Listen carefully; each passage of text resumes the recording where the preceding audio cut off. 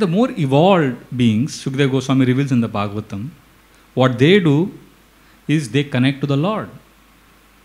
In fact, Bhagavatam you will find many verses echoing the same mood which Krishna is telling Uddhav here about Atmaha. How can you kill your own soul? Which is very rhetorical in the sense, killer of the soul, soul can never die. You can't ask a question, how can Krishna say this? Here it is rhetorical, means he's saying how he is, he is uh, killing the propensity of the soul to go back to Krishna to evolve. That is what it means here.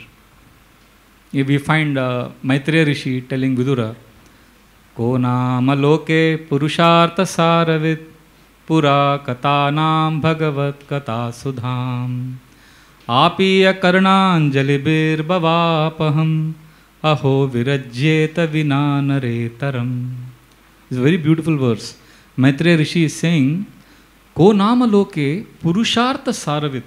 Who is that human being who understands the essence of life who will engage in hearing gossip mundane news if is really understanding the essence of life what will you do पुरा कथा नाम भगवत कथा Sudham he will hear about Krishna he will hear about the lord and then he's saying how will he hear about the lord how will he get krishna in his life आपीय कर्णांजलि भवापहम कर्णांजलिर karna anjali means anjali palms when when they are held like this so his karna his ears are like this this is the mood of this mood is different from this mood karlo dunya mutti mein this is grab achieve achieve mood but to connect to the lord to evolve further in our spiritual life, we need to be not achieve, receive. Receive versus achieve. In bhakti, the whole mood is receive. Karnanjalir. So our ears have to be like this.